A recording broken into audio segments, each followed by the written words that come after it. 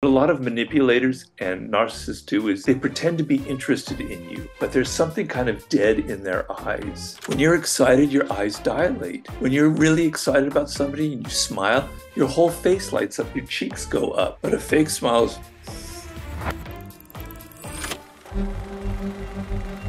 when I entered the work world, I was very naive.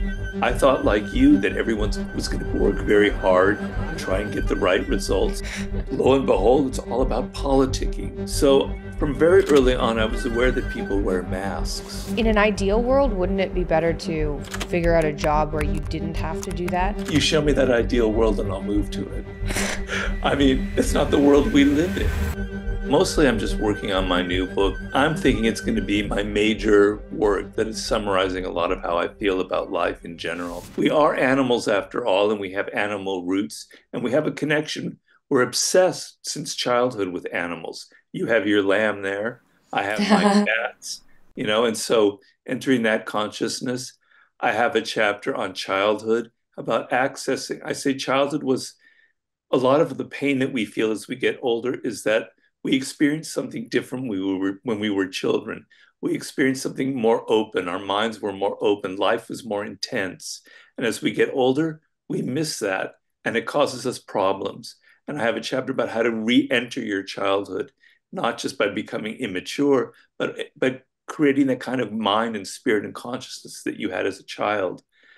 I have a chapter on paganism, which I discussed with your father. We had a very interesting discussion about that about the pagan consciousness because um, I've studied a lot of ancient cultures and how interesting our ancestors, how they thought about the universe. This is, I don't know if that's giving you an idea. I mean, I could go through all of the chapters, but that's. No, that, that gives me a bit of an idea. When are you uh, planning on launching or releasing the book or for, for pre order, let's say, and then release? Well, um, there's 12 chapters. I've written eight. I'm on the ninth chapter at the very slow pace that I'm going, I'll probably finish next early next year. Maybe in time to come out in 2025, the fall of 2025, but probably more likely, I can't believe it, 2026. I take a very long time to write a book, sometimes five or six years. So the pre orders at the earliest would be in 2025. Okay, great. Well, good luck with that. Thank you. I need luck. yeah, writing is really something. Okay, I have a whole bunch of questions for you. Um, some of them, some of them, I want to cover. They're similar topics to what we talked about last time, but I found them really interesting. So I want to go back to some of those, but a bunch of them are new. So can we start with? Oh, this we didn't cover yet. Um, you talk about mentors quite a bit. How do you look for a mentor? Well, um, it depends on what field you're in and who you are as an individual. But to generalize a little bit, think of a mentor as kind of a second parent that you have. So we don't get to choose our parents. You're fortunate to have a, a brilliant parent, but we don't choose our parents. And so the mentor is the chance where you get to choose somebody to be like that surrogate father or mother you never really had. And so it's more than just, you don't want to just find somebody who's the most brilliant person in their field, but there's no emotional connection. There has to be a kind of an emotional contact between you, a back and forth and exchange.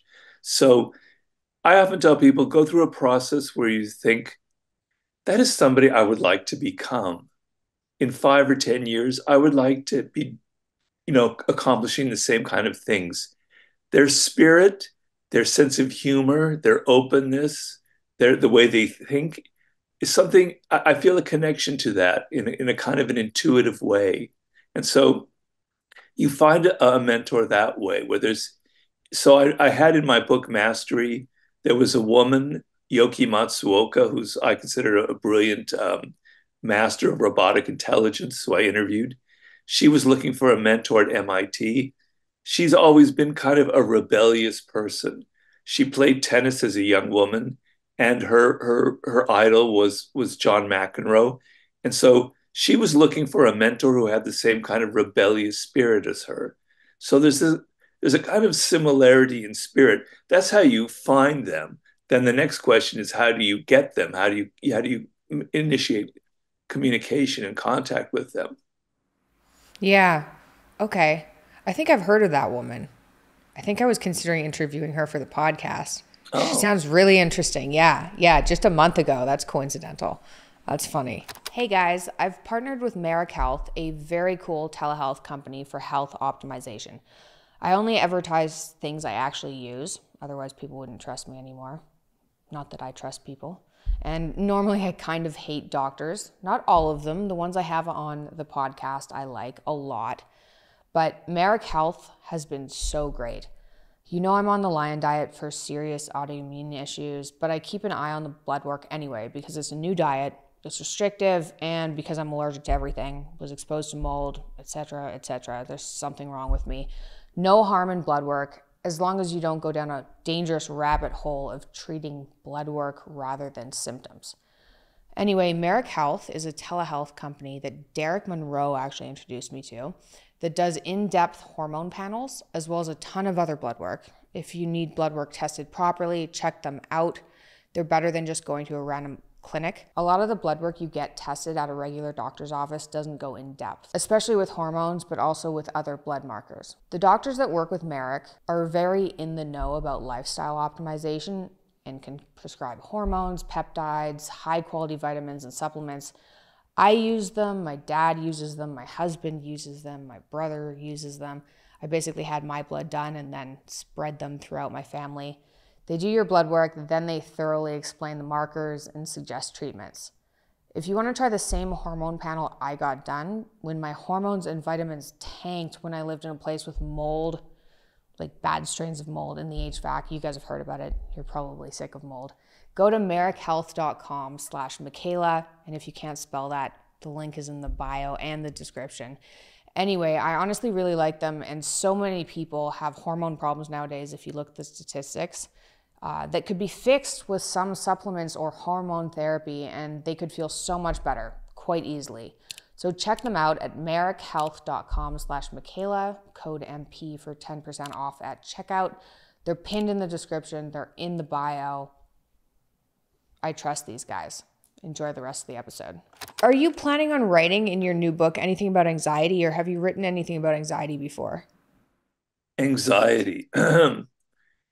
Well, it's kind of something that I, I discuss peripherally in all of my books, and I discuss it a little bit in Sublime. I mean, it's related to our relationship to death, I, I believe. Um, so we have layers of emotions in each of us.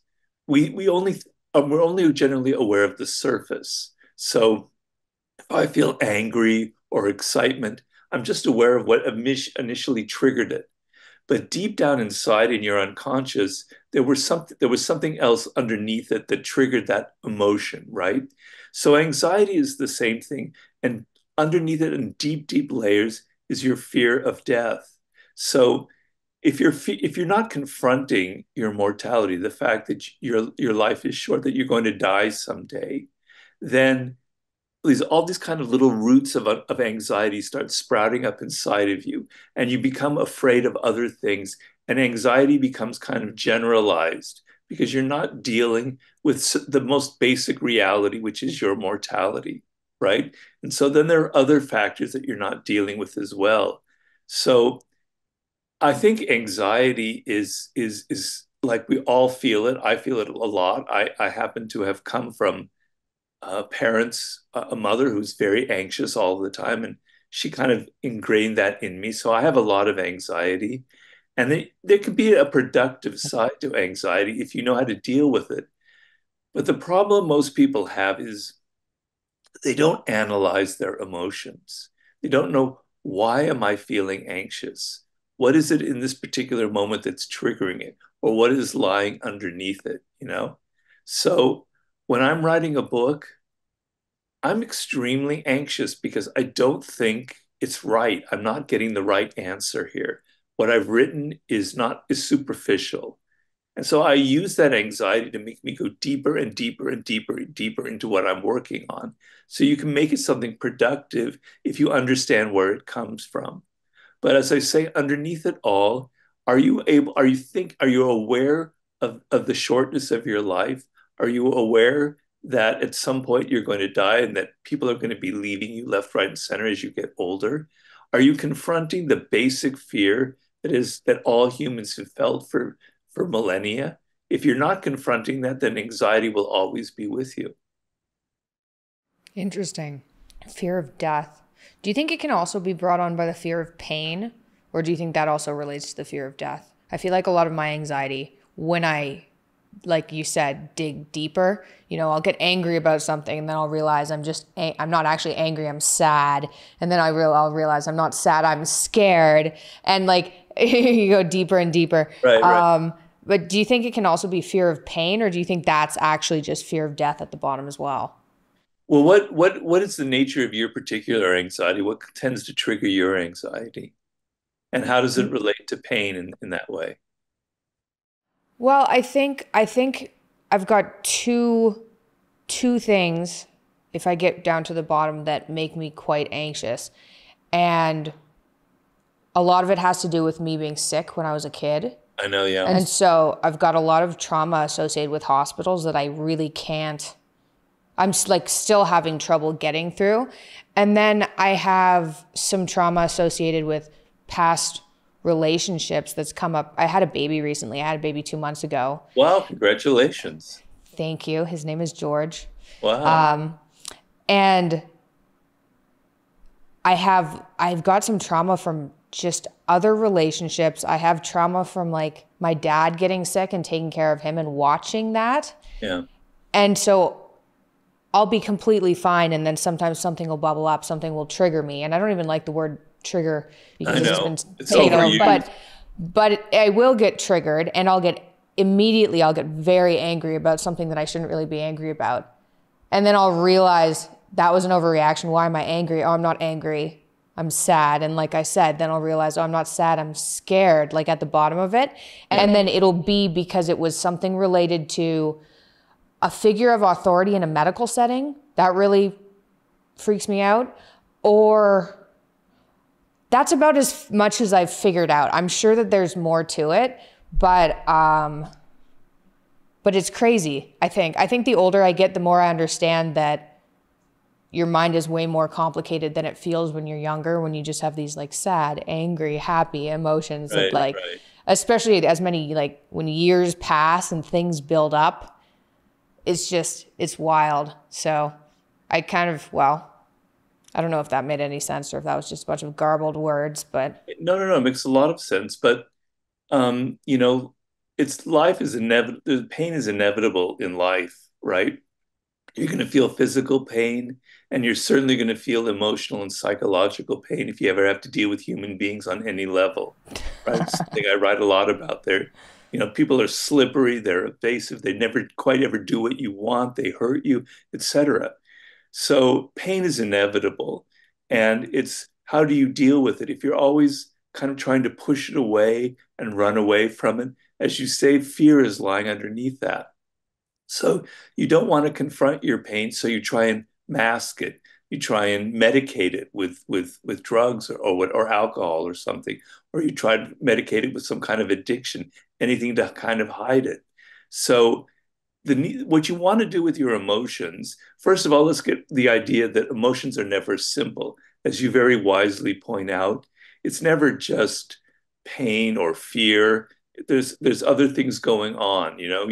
When you feel an emotion, it, it's mixed with all sorts of other things as well, and it passes very quickly. So your fear quickly fades into something like excitement, and then it fades into something like depression, yeah. and then it comes, you know, it's moving around. Okay, so your emotions are complicated, but you want to develop the ability to stop and say, why am I feeling this in this moment?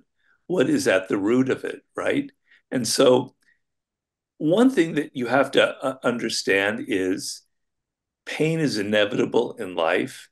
So I want to develop the ability to confront it and to embrace it and to not run away from it and say, I am strong enough. And there's actually something great about feeling pain. So you want to be able to f- actually feel the emotion and not try and run away from it. So pain is a signal from your if it's from your body that something is wrong and you have to correct it but if the pain is emotional and psychological it's also a signal that you have to deal with this particular issue it's a it's a way that you can use to toughen yourself up and to not be so fragile and to realize that I can handle this pain if I run into it, if I don't run away from it and I run into it and I confront it and I try and deal with it in the moment. That's how, how I look at it. Yeah. So you have to get to the point where you're okay with it, like basically exposure therapy. Like you, you can't keep running away. I, I've found with things that I've gone through that I've actually gone through and then they're behind me now. If I wrote about them in like serious detail, as if I was kind of reliving them a number of times until it was easy to write about them, then eventually I would stop thinking about them writing was extremely effective for me more than I think. Definitely more than thinking about it. That doesn't work very well. um, more than talking about it, writing about it numerous times seemed to help.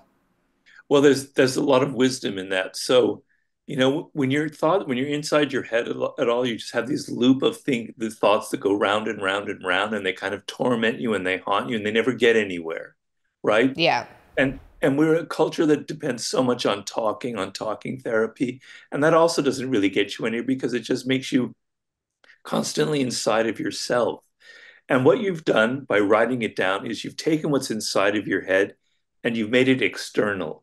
You put it on a piece of paper. So it's no longer in your head, it's actually out there in the world. Yeah. And looking at the object of what you wrote is very therapeutic, is very liberating as opposed to always having it circling around in your brain or just simply talking about it. There's a lot of power, I believe, in taking a journal or any kind of any, anything that you want to write in and writing about your experiences, writing about why you're afraid. And sometimes what happens is you start writing and you go off on these tangents and then you realize there's something else involved that's going on here.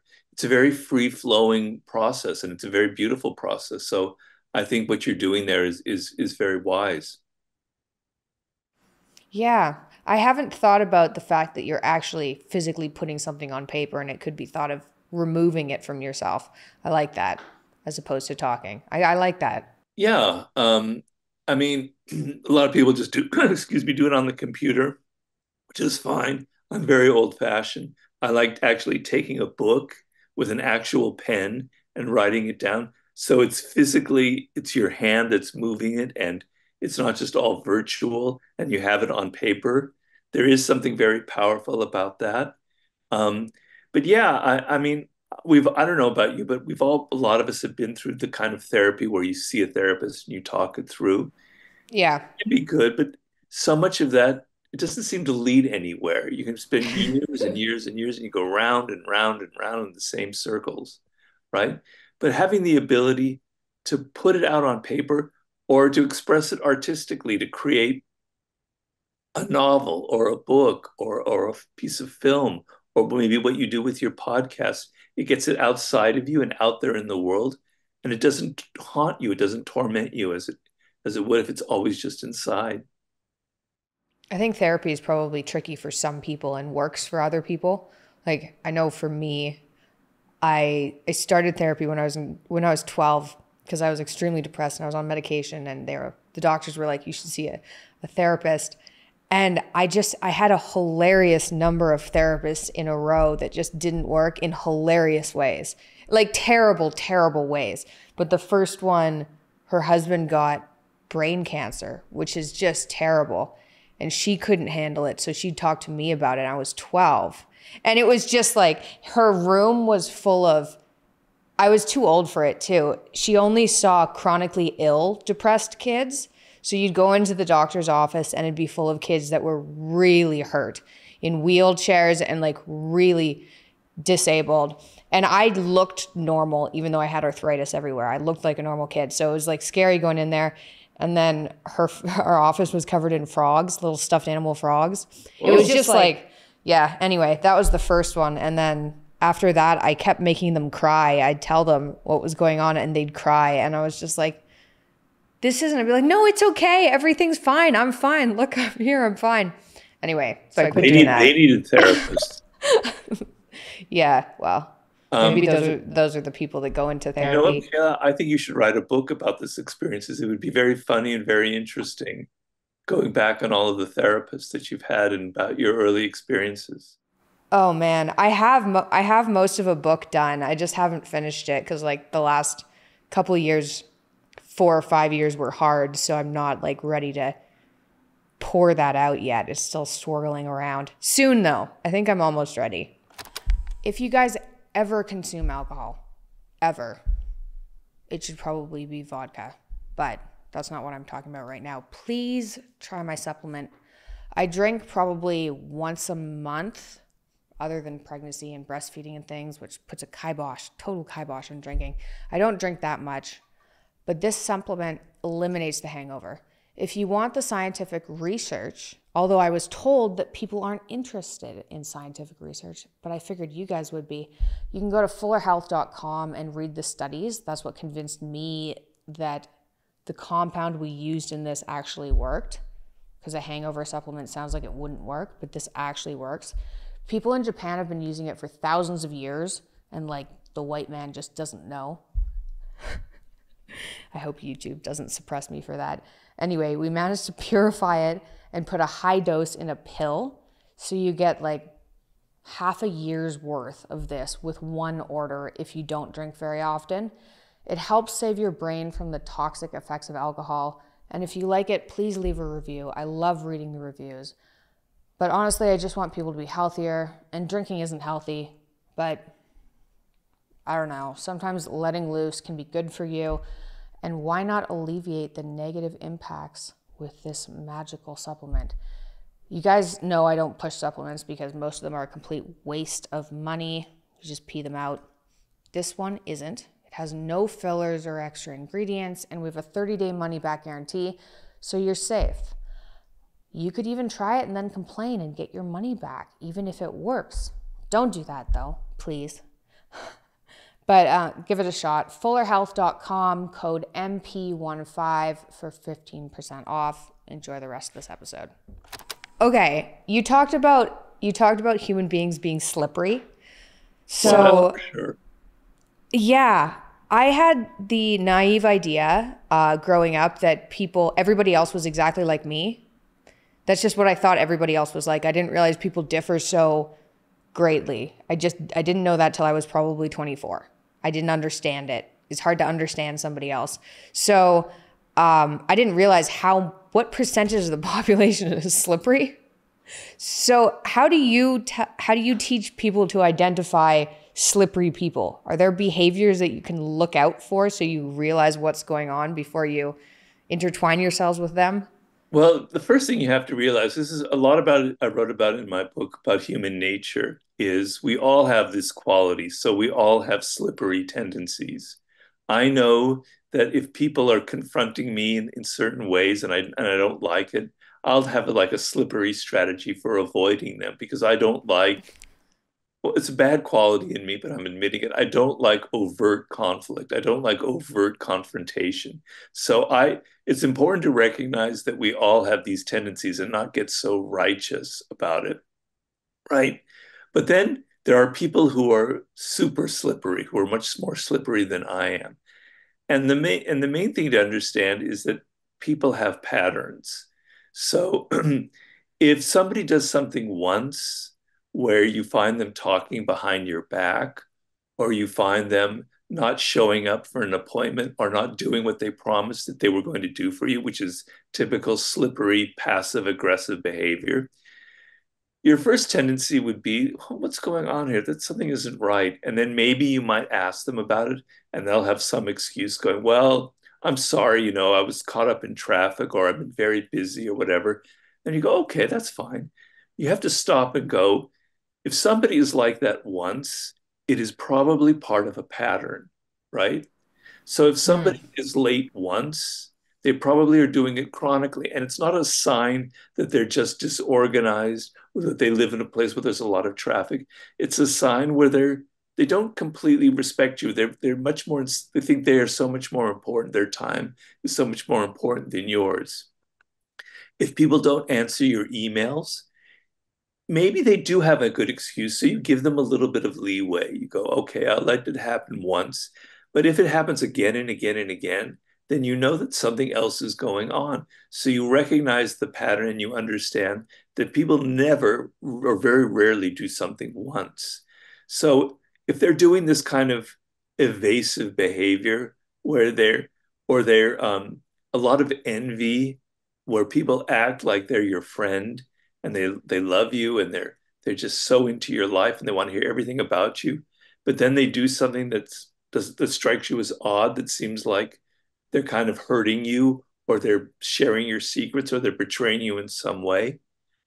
A lot of that will stem from envy. So they they became your friend they became so close because secretly they don't really like you.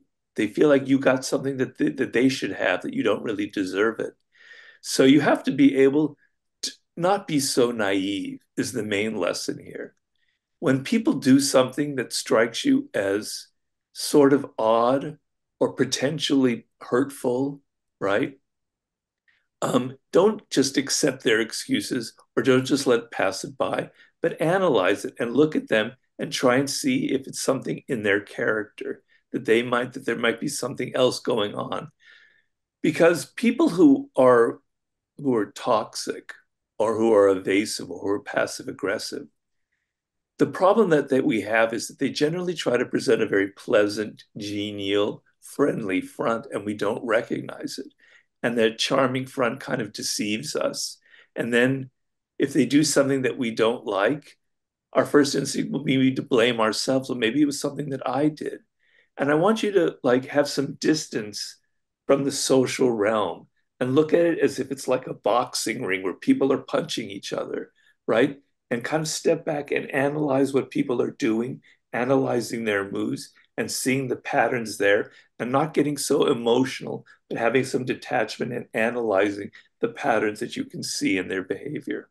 Did it take you a while to like f- to figure that out? Is that how you viewed people when you were say below the age of 20 or did you have things happen to you in life and then you realized that this is what people were like? Well, I think a lot of it is your your early parenting and your and your if you're if you're a child and you feel at all vulnerable, like you're you're not getting quite what you want, you mm-hmm. become very sensitive to people and their motives and their behavior because you're afraid of being hurt. So a lot of very empathetic people later in life, I've found in my experience, had parenting that was there was something a little bit off about it, and they had to be very attentive to the adults around them to make sure that they weren't hurt right? So you develop a kind of sensitiveness. But I will admit that when I was 22, 23, and I entered the work world, I was very naive. I thought, like you, that everyone was going to be like me, that they were going to work very hard and try and get the right results, and that thinking and ideas is what mattered, and getting getting what the results that you wanted. And then, lo and behold, it's all about politicking about who who's friendlier with the boss, about who's got this kind of office, about all this kind of bullshit that I just thought was ridiculous. In fact, it, it kind of ended up inspiring my first book, The 48 Laws of Power. So I was naive too. But because I had that childhood where I was very sensitive to people, I don't like getting hurt. I was very keen on observing what this is, what is going on, and I was very much seeing these kind of power games that people were playing, you know? And um, I didn't think that people were as innocent as they protested. I've always had an idea of analyzing things, and I like to understand what's going on underneath. So from very early on, I was aware that people wear masks. They pretend to be something that they're not because that's what it means as a human being when you're social, when you're out in the world you're never exactly who you are. You're wearing a kind of a mask. So, how you are with your father and how you are with the public or with other people, it changes with each different person that you interact with, right? So, I've always been aware of these masks that people wear and um, what is going on beneath that friendly smile or that continual frown or that kind of fake laughter. Is there some, is there a pain behind it? a lot of smiling and laughter is actually quite painful. And you have to be sensitive and you have to think about it.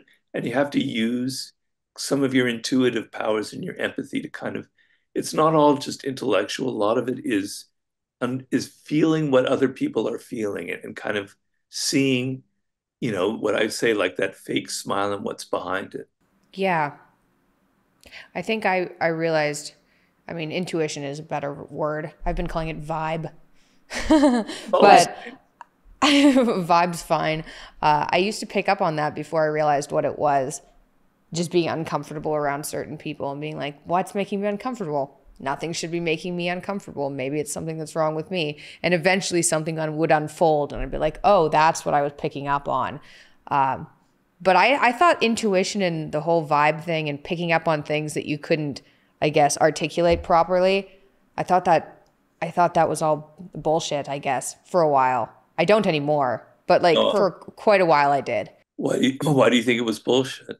I think it was because I couldn't articulate it. Like if you you walk into a room and you can tell two people are arguing, but no one said anything, that feeling that's in the air. Yeah, exactly. Like of course, it also it's also possible. I was on antidepressants for a long time, and I think that kind of screws with your perception. Yeah, yeah. So, so maybe that played a role. A, a, a, lot. I've noticed with a lot of women, for instance, who get into very bad relationships and they talk, they come to me for advice, etc. And a lot of times, they had a feeling when they first met yeah. Man that something wasn't right with him right? But then they forgot about it. They didn't listen to that little voice, that little intuitive, that vibe, if you will. That there was something about this man that was maybe narcissistic, that was maybe a touch violent, that was maybe, you know, whatever you want to call it. And then he charmed them in some way and and and he he put on a smile and he said all the right things. But that first moment where the where you catch something about a person before you get emotionally involved with them is very, very telling. And you have to listen to it because it's real. That feeling in the air about people. I mean, think of it this way we are animals that have roots that go back millions of years, okay? And as human beings, we spent in our evolution hundreds of thousands of years without words, without language. And we were a, very much a social animal. We were attuned to people's feelings. We had no words to communicate them, but we understood just by looking at them that there was something wrong or that there was a danger in the environment. We have that ability. It's very powerful. It's built inside of us. That feeling in the air that you sense when you enter a room and people you know have been arguing is real. There's something going on, but it's not something you can verbalize you have to trust that feeling and go lean into it and go what is that? and not just push it away and go oh, it's just woo woo it's it's not science. Because it is it is actually very accurate. Yeah. I completely agree. I completely agree. I, I mean i think people are talking about it now more and taking it more seriously but your example of telling women that if they feel that something's off to follow that instinct that's ex- extremely valuable. Yeah, because I've heard it time and again. They'll say, you know, when I first met him, uh, I had this weird feeling, and then and then I thought, well, maybe I'm wrong. You know, maybe I'm. Yeah. Just, it was like I had a bad relationship before. Maybe I was just projecting it onto him. Yes, that's possible, but more likely you were sensing something that is actually very real about this person, and then you forgot about it or you repressed it because you you wanted to have that relationship. And so you when you get emotionally involved with the person it's very very difficult to analyze them to step back and go what is their character? What is really going on here? And i'm not saying you need to be this cold person that is always analyzing everything people do. That'll make you miserable. But having the ability to occasionally step back and let go of your emotions and just look at the person I can't tell you how powerful that can be, how liberating it can be, how it can save you from entering a relationship that will end up costing you emotionally for years and years and years. It's a very, very important skill to develop. Is there a difference between power and, and just manipulation? Well, um, that's a good question. I mean, uh, in, the in the 48 laws of power, um, most of the techniques, or not most, but a, a, fair amount of them have to do with manipulation. But not all of it has to do with manipulation. So, uh, you know, it's like you're you're a lot of the power in life comes from within you. It's not about pushing people around and crushing them and and seducing them. It's about yourself and how you carry yourself. So a lot of the laws of power in, in that particular book have to do with your attitude towards yourself, right? So I have a chapter in there, excuse me, called, excuse me, Act Like a King to be Treated Like One. So if you think of yourself as a king or a queen, as somebody very powerful that deserves great things in life, other people pick up on that and it makes them go, well, I'm going to treat them that way. That's not really to me a manipulation. That's just how you feel about yourself, right? So always say less than necessary, which is a very powerful technique, is you tend to talk too much. And when you talk too much, you reveal your insecurities, you reveal the fact that you can't control yourself, you, you reveal weakness. So being able to control what you say I don't see that as a manipulation. If you're trying to actively deceive people with your words, that is manipulation.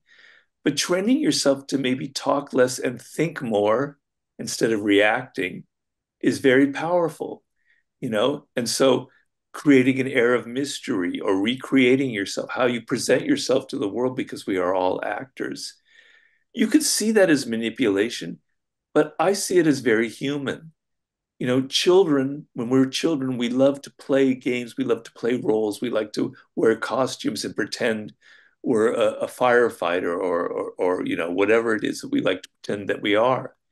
So it's a very human thing to play a role and to act and to, and to put on a facade. You might see that as manipulation. I just see that as human. And the fact that you can control how other people see you is very, very powerful you could look at everything that humans do as a manipulation, and I find that very reductionist because I don't think that's true. But I, I, think a lot of the things that I think are power have to do with how you control yourself, how you see yourself, how you're able to not just always be emotional and reacting to things. Self mastery. If you want to think of self mastery as a manipulation, you could do that, but I don't. I don't see it that way. Do you suggest implementing these strategies differently in like the workplace and in relationships like showing your significant other yourself that's beneficial right? But showing the workplace your innermost feelings is inappropriate. Very very true. But then there are times where it crosses over. I mean you know the problem with human beings is we're so rigid and dogmatic where we think it's always a or b. And and, and it's not. It's more fluid like that so, in your personal relationships, sometimes you want to keep a little bit of mystery. You don't want that partner of yours to know everything about you, right? Because then you become so familiar that there's no fantasy involved, right? And if they stop fantasizing about you, they'll find something else to fantasize about, another human, for instance, right? So, even with your personal relationships, you want a touch of of of mystery. You don't a, a little bit of reserve, things that that will surprise them about you is very very powerful. Okay, but yes, what you say is very true. So in the work world, and this is a problem that people have in the world today because of social media. They're so used to revealing everything about themselves, what they had for breakfast, who, where they vacationed, who, who they're dating, all this other stuff that when they enter the work world, they just they don't know how to turn that off and they just become the same person. And it's not good. It's not being a social human being. In the work world, you're playing a role, you're playing a, a particular game, you're trying to fit in, you're trying to get things done in a certain way. You're wearing a mask, you're playing a game, you're playing a role. It doesn't have to be who you are personally. So it's very important to differentiate your friendships, from the work world and, and the power world. It's a very important thing to learn. Do you think if you put on these masks, they end up incorporating into who you are at some point anyway? Well, it's a good point, and that happens to people. If you notice somebody as they get into their 40s and they played this particular role in life, they were like whatever job they were, and they were always kind of wearing that mask, that by the time they're 45, they can't take it off. Their faces kind of frozen into that look that they've had at the work world or whatever, right? So the key is you have distance from yourself, right?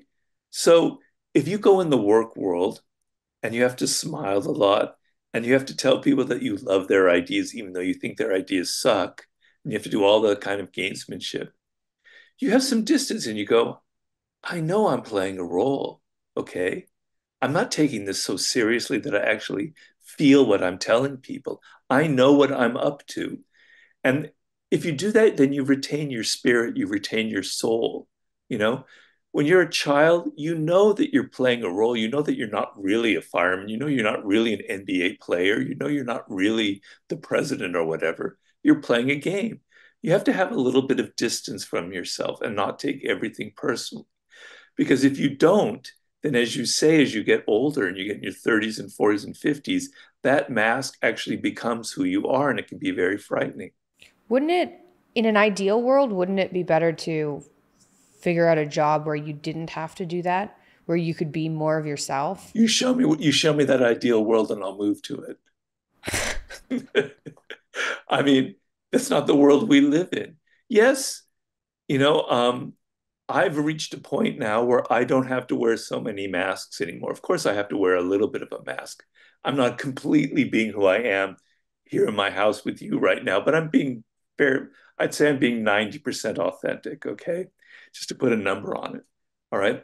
But um, sorry, I forgot where I was going with this. Um, but yeah, I've reached a yeah. point. I've reached a point with my work where I don't have to pretend so much, which is a great thing right? And being an entrepreneur allows you that freedom. So not having to work for other people is, a, mm-hmm. is yeah. the most powerful thing you can do. You as as an entrepreneur running your own podcast, running your own business, you don't have to play so many of those games anymore. You probably have to play a little bit of them. You have employees, etc. But you have to play less and less of them. So the larger the group of people you work with, the more you have to wear those masks and the more dangerous it becomes. The more you become your own boss and you don't have to play all those political games with people, the more power that you have to not and to, to be more of who you are. I mean, look, we love like certain icons in our culture, like rock stars or, or people like that, who we feel are being authentic, right? Like you, you take any kind of, of, of popular music icon out there and we go they're able to just be who they are. They just have this person this this authenticity. It's because they can do that because that's where their power is. They can make money okay way, you know? That would be the ideal world but we don't live in that ideal world. Okay that makes sense to me. That makes sense. So a lot of the yeah societal positions people are put in they they have to put on a mask in order to fit that position. Yeah yeah, okay. Okay, that makes sense. Like whatever a TSA agent is, whatever that mask, that is a horrible mask. Yeah, or, or, or the doctors that you don't like. And, oh, yeah. You know how they, they just sit at the computer and they just type, type, and they don't even look at you in the eye and then they just tell you things as if they're God. imagine, imagine that that's who they are for 20, 30 years. That's who they are when they go home at night to their children or to their wife or, or husband they you know they can't take it off. So, or the TSA agent. They definitely aren't going to have a wife or husband if they keep that mask on. Maybe they could marry each other. yeah. yeah. okay. Okay. Here, this is a fun one. Um, are there are there quick signs you can pick up on uh, to allow you to recognize that you're being manipulated? Well, um, it depends on on on on the kind of manipulation that's going on. So is it is it a sexual seduction? Is it that kind of manipulation? Is it someone trying to steal your money from you? Is it somebody trying to charm you? So a lot of the scenarios that I've personally had to deal with as a consultant will be the following. because these are all different kinds of scenarios and they're all a little bit different. So you have a business and um, you realize that it's too much for you. The business is growing. You need a partner, right? So you start looking for a partner and you find person A, male or female, and you, you interview him or her. Let's just say him, so I don't have to go through all that gender jumping. And and he's like, he's so he's very pleasant and nice. Got a great resume. He's smiling and everything, wonderful. Um, and then you hire him, and then lo and behold, he turns out to be very lazy. He turns out to be out for himself. He turns out that he can't take any kind of criticism which I must tell you, the worst character flaw you can ever deal with with people are those who cannot take criticism. It'll just drive you crazy, right? It'll send you to an early grave. I, I completely agree. Okay. So you've hired this person and they're making your life miserable.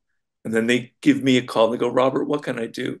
Well, I say, the best thing you should have done was to recognize beforehand that they were playing a game. Okay. So you want to recognize these types before you get emotionally involved with them. And you can test them. So I often tell this is going back to the scenario of looking for a business partner. You give them an interview and you you ask them a question that's totally off base, that's totally from left field. You surprise them. There's no way they could have prepared for it. They can't expect it. How do they react? you know, because they've they've trained themselves like a monkey to respond to everything correctly. And you've thrown them a curve. Do they get all stressed and they try and cover it up with bluster? Or do they go sit back and go, you know, I never thought of that before. That's an interesting question. I'm not really quite sure how to answer it. If they do that, you've hit somebody that's good, right? They've shown that they have the ability to not always feel like they're right. So you test people, you push them before you get involved with them. But in other scenarios, you have to trust that that initial feeling that you get from people. You know, in my Laws of Human Nature, I have a chapter on nonverbal communication. And something that you probably thought was a little bit woo woo when you were 24, but is actually, I think, very powerful, right? So people who are really narcissistic, we all have a touch of narcissism. I certainly have a, a, good dose of narcissism in myself. We all have it. We're all self absorbed. There are those deep narcissists out there, and boy, can they be painful, and boy, can they be manipulative, right? Their body language reveals it. And I talk about how study their face.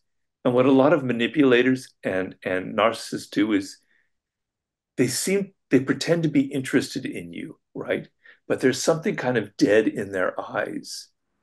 They're not, they're pretending they're wearing the role. Their, their mouth seems to say things that are, are, are empathetic, but their eyes are dead.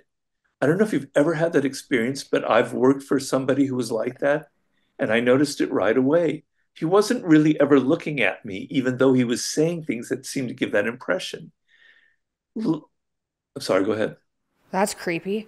Is it like so I, I've come across a number of people that had they gave me kind of like shark eye vibes. They're like lizard eyes. Just something was just a little bit it was just a little bit creepy. That's the vibe it gave me was shark or lizard like eyes. I've come across a couple of people like that. Well, eyes are are very telling. Are very are like as they say, it's the windows to the soul. Um, and so, you know, when you when somebody is genuinely interested and excited about you, their eyes dilate, they open. There are things about ourselves we cannot control. I don't care if you're Hitler or whomever, there are things about your face you cannot control, and you cannot control the dilation of your eyes. So, those lizard eyes you're talking about, they're very narrow, they're very pointed like that. Mm, maybe that was it. When you're excited, your eyes dilate. When you're really excited about somebody and you smile, your whole face lights up, your cheeks go up. But a fake smile is yeah. It's very tense. There's nothing happening here or here. Yeah. Okay, okay. Attuning to that will show you that people are saying something and they're not being genuine. And that's one sign of, of manipulation. And then I know this will sound very self aggrandizing, but if you read the 48 Laws of Power and you read The Art of Seduction, and you know the tools that a seducer will use on you, you can be very aware in the moment if they're using that on you, right? So in the second half of the law of art of seduction, I have 24 strategies uh, in seduction, starting from when you first meet somebody to the very end when you have consummated a relationship. And um, and so, for instance, one of the chapters in there is about isolating the other person. So you take them away from your their family, your family, and you um, you you alienate them from your family, saying or your their friends, saying those people are awful, right? That's a sign that they're trying to isolate you, and it's a classic seductive technique, and it's a manipulation, and it can be very dangerous. So if you read the, these books like mine, um, you'll see the strategies that people who manipulate and seduce use, and you'll recognize them right away. A lot of women have written to me saying that the book helped them see before they got trapped in it of a, of a typical kind of destructive male seducer or pickup artist. They could see right through them because they read the book. So. Do people ever implement those strategies in order to get what they want, but in a healthy way? Because you can seduce somebody at the beginning of a relationship and it's a bit you know, it's the beginning of a relationship. It's more fun. It's more exciting than it is a little bit later on. And there are techniques that you wouldn't necessarily implement throughout the relationship. Is that still a manipulation or is that like, where's the line between bad and normal? Well, it's for what purpose? Are are you um, are you trying Yeah, to okay. like um, take this person and and make them your slave? Do you want them to submit to you? Do you want them to be at your beck and call, you know, like your dish rag? Or do you genuine? So a really a healthy seduction involves a back and forth. So in every relationship, in every kind of seduction or relationship, it's never fifty-fifty. I'm afraid. Very rarely is the interest on one side and the other exactly the same. There's always a little bit of tension where somebody is more interested in the other person, and it can go back and forth and back and forth, which is very common.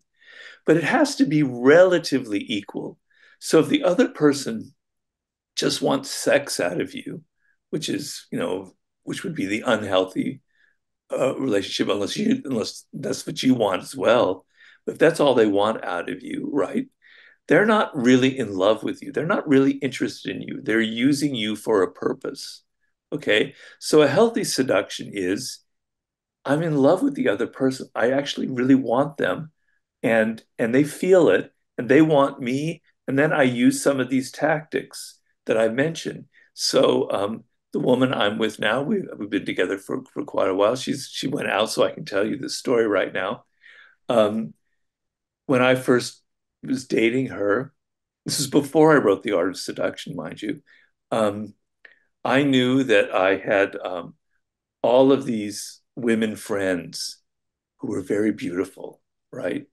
And it was my birthday. And I had invited these, you know, like six or seven very beautiful women to have birthday dinner at this restaurant. And so in the back of my mind, I go, I'm going to invite this other woman that I, I'm now with to this party. And I knew that seeing me surrounded by all of these women would get her competitive and would make it look like I was somebody desirable. Now she recognizes this afterwards that this is what happened and she laughs about it and she she doesn't quite think that I was being as clever as I pretend to be as I'm telling you. We have a disagreement about that because I think I was being quite clever. But um, you know, I was genuinely interested in her. I was in love with her. I wanted her, you know, to go out with me. So I used a little bit of trickery. But seduction and love and relationships, there there's a bit of theater involved. It's not real life. We don't want to go out with somebody who just wears shorts and and and, and clogs and a t-shirt, right? We we dress up. We go to a nice place. We take someone to a restaurant. We take them to the theater, to to whatever. There's theater involved, and we people in the world today we're craving. As I said beginning, Sublime, we're craving experiences. We're craving to be taken out of our boring, mundane day to day lives. We want something mythic. We want something larger than life. So if you're doing that in your seduction and it's out of the, the goodness of your heart because you really truly are interested in that person, I see that as completely healthy and completely within completely legal in, sedu- in seduction terms. Have you seen anything about these Apple Vision Pro? Speaking yeah. of keeping people in their own heads and kind of isolated, do you have any feelings about the new Apple Vision Pro? Um, well, you know, Mikhaila, I'm kind of an older person. I'm probably more like your father's age. So that kind of stuff just doesn't appeal to me. And um, I'm an unvirtual person. I want to see people in the flesh. I want to come, I want to meet them. I want to talk to them. I want to maybe touch them within bounds, et cetera, et cetera. I don't like all of the virtuality. It drives me crazy. And um, because the what is to me what is the most powerful thing that human beings possess? I ask you, what would you say? Okay. Let me think. Give me like 15 seconds. Yeah, it's not really fair for me to put you on the spot. No, no, no, no. I've got I got a couple of answers. I have my own uh, answer, but okay, go on. I, I would say I think it's probably the ability to love. I'm gonna go with that. Okay. Well, that's related to what I'm saying, to what I'm thinking. I'm thinking that the most important brain power that you have is your imagination, your ability to see this is what could happen with these particular materials. Oh, yeah, that's amazing. Yes. This is the world I have, but I can see other things. I can imagine uh, yeah. a possibility. I can imagine a book. I can imagine what a, a building, whatever. When you're a child, you develop your imagination by playing games with other people, et cetera, et cetera, in various different ways. When you live in a world where everything is pushed on you, where everything you have no room for your imagination. They are the ones programming your brain, giving you these images, giving you this virtual feeling, making you see all of these things instead of the real world, enhancing, because I know the, the Apple Pro, it has this feature where it actually enhances the environment. Um, you know, then your brain is rotting. You're not learning how to use your own imagination. And so in, in my new book, the chapter I just wrote, was about history and our relationship to the past. And I'm someone, like I know your father is, I'm absolutely obsessed with history and our ancestors and things that happened in the past. I think it's the most incredible trip you could be on is to is to journey into the past. And I write these sections where I take you inside of cities in the ancient world, like the city of Babylon in the 7th century BC. And I say, imagine you're you're there and what it would be like. It would be absolutely incredible. It would blow your mind. Learn to exercise your imagination and don't have everything put on you through technology where they're they're programming your brain. They're not programming your iPhone or your or your Apple Pro. They're literally inside your head. They're programming your thoughts and they're they're curtailing your imagination. So I think it's that stuff is kind of dangerous. But I'm an, old, I'm an old guy, so what am I going to do? I, I'm more, I think I'm more positively predisposed to it, just, but I can see the dangers for some people for sure. I feel like they'd have to be used very wisely in very specific situations in order to be beneficial. We got a pair to try them out. Ah. And it's so they're too heavy right now. There's a battery attached to them. So they're not, I don't think they're usable at the moment. They're like, you'd end up with a headache and neck pain and things. But I had it on for about 10 minutes and my husband and I both had headaches afterwards, I think, because the screen is so close.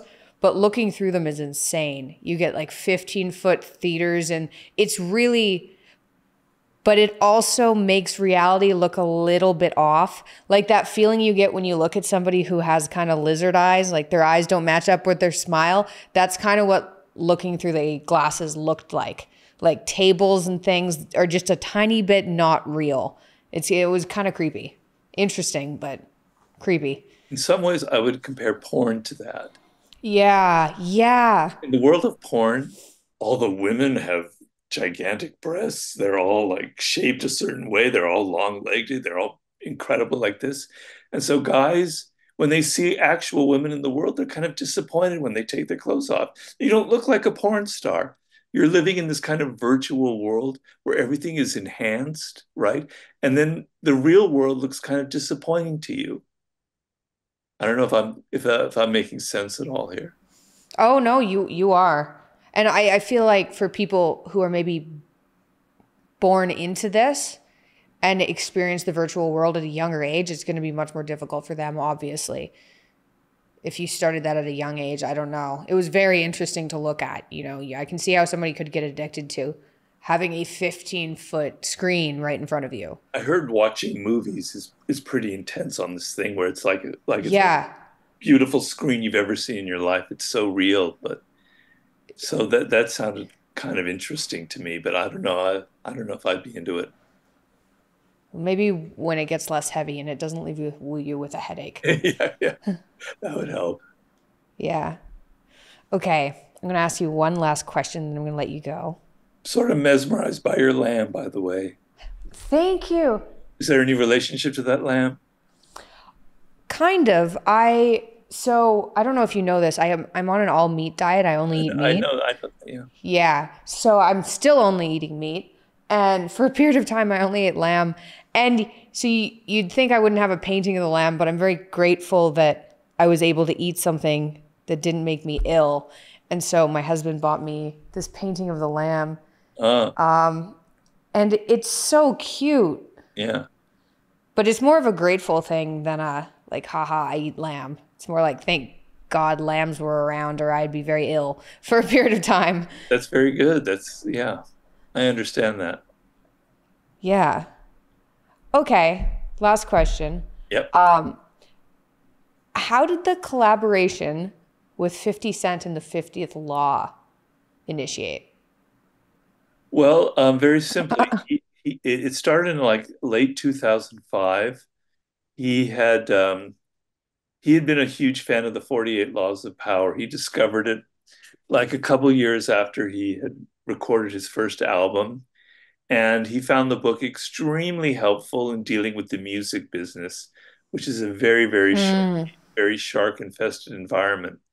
And um, and he also read The Art of Seduction, which had been out, and he found that very useful because 50 is is an incredible seducer.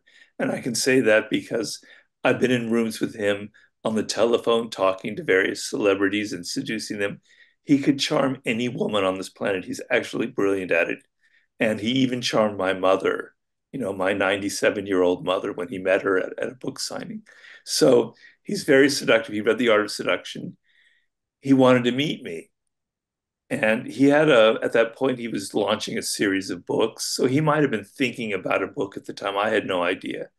So um, I was, you know, they were inviting me to New York to meet him. And I'm yeah, sure, why not? I mean, uh, that could be fun. I'm, I'm all into like new and weird experiences in my life. But I must admit, I was a little bit intimidated because I, I'm not a huge hip hop fan. I like hip hop, but 50 was like my favorite. I thought I really liked his music because I liked the edge on it. I liked the kind of rawness. I, I found it very appealing. So I was intimidated by him. Was he going to be disappointed in me? Is he going to be like so thuggish that I'm going to be, you know, shaking in my shoes in front of him? So I was a little bit worried. I flew to New York and I met him in the back room of a steakhouse on Madison Avenue. Um, me Awesome. by myself, me, little white boy by himself. He, he's surrounded with his entourage. So I was already feeling a little worried. I sat down next to him, and first of all, I was noticing the bling was insane. He had a diamond bracelet on that was just unbelievable. I had no idea how much it was worth, but it's incredible. It's like that's all I could look at was that diamond bracelet.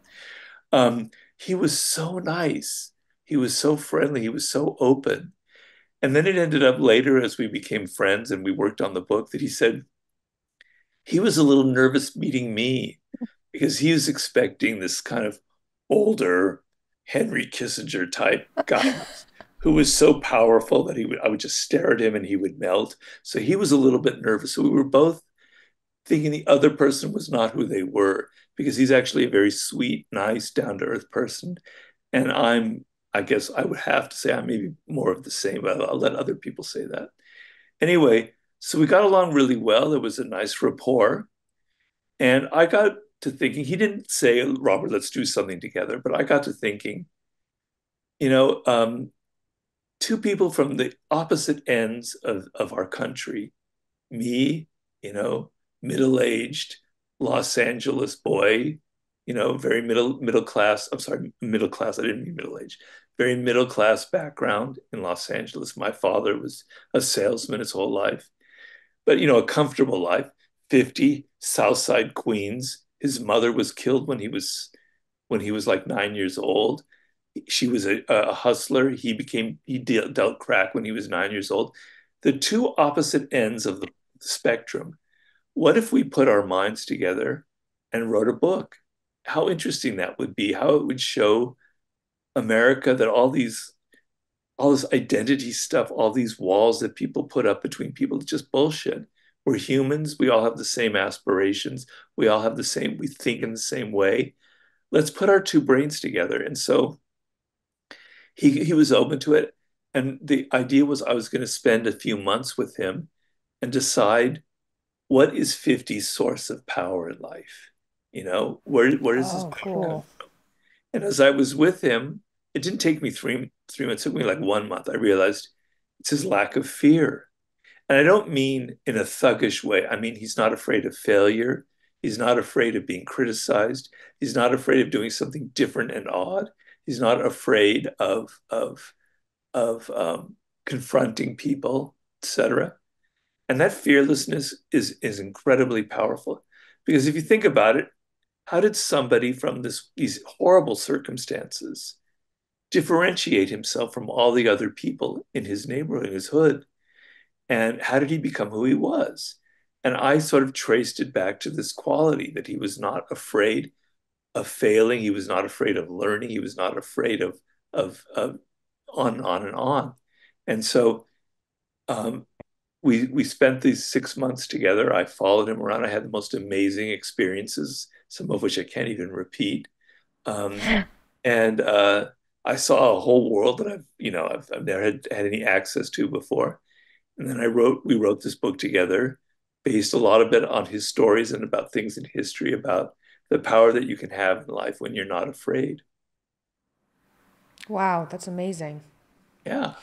Do you do you think so just before you go, do you think his ability to not be afraid was brought on by the fact that he experienced what must have caused so much fear when he was so young that everything else in comparison just was inconsequential? Well, yeah, but you know, a lot of people in the hood have the same experience, but they don't end up him. But what ended up really happening to him was when he was, I don't know how old, maybe 21 or so, um, from an old drug dealing days, because he kind of left the drug dealing behind.